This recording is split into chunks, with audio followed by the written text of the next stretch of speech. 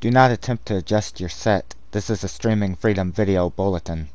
This video is being made because something has come to my attention.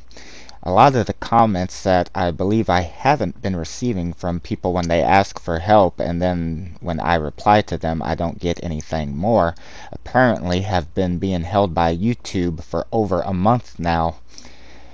I check the comments section every day, the bell notifications, the held for review, and also the I haven't responded tab, and every day there has been hardly anything in there until today. All of a sudden I'm flooded with a bunch of comments, a lot in held for review from a month ago.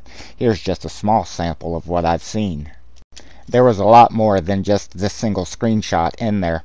Be Very of A is an approved user on the channel and yet he is showing up in there although I recognize the comment and that comment is on the page so I don't know why it is showing up here with the exception of possibly somebody had replied to him which he never saw another person, Skeletor King, who was kind enough to give some information regarding the Xbox, has appeared in here now multiple times. And again, none of this has appeared before today, and yet I'm seeing things from three weeks ago, a month ago, and so on.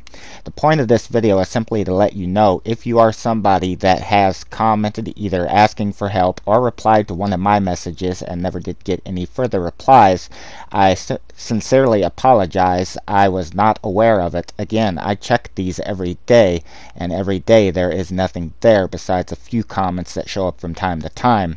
I do not know why this happened, but Again, I just wanted to let you know you are not being ignored, and I sincerely apologize if your comments after you take the time to post them have not been posting.